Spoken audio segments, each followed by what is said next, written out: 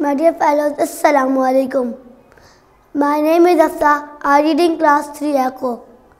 آج میری تقریر کا عنوان ہے عورت۔ ہم اس دنیا کی رونق ہیں۔ ہم سے یہ دنیا جنت ہے۔ ہم مائیں ہیں، ہم بہنیں ہیں، ہم بیٹیاں، ہم عزت ہیں۔ کھیتوں سے کھل جانوں تک، چولہے سے ملو مشینوں تک۔ جس راہ پہ ہمارے قدم پڑے، ہر قدم کے نیچے عظمت ہے۔ ہم اس دنیا کی رونق ہیں۔ ہم سے یہ دنیا جنت ہے۔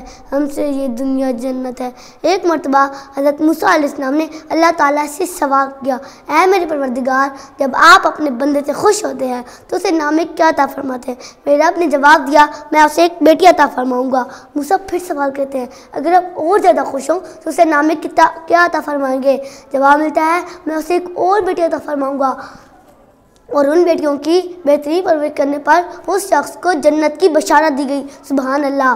اب تقریب آئین سے عالم انسانیت کی علم بردار عورت، واؤ سے وجود انسان کی بنیاد عورت ریسے رہنائی کائنات کا نشان عورت اور تیسے تمہارے معاشرے کی پہچان عورت۔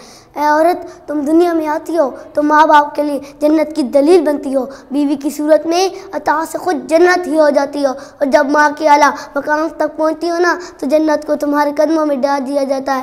اے عورت، تجھے سلام ہے، بلا شبہ، تو ہی معاشرے کی پہچان ہے۔ تم ہی ہو جو بہترین تربیت سے بات کو معاشرے میں اس کا مقام، اس کی پہچان درواتی ہو اور وقت بننے پر اس کا دایاں بازو بن کر اس کے شانہ بشانہ چلتی ہو۔ اے عورت، تجھے سلام ہے، بلا شبہ تو ہی معاشرے کی پہچان شکریہ۔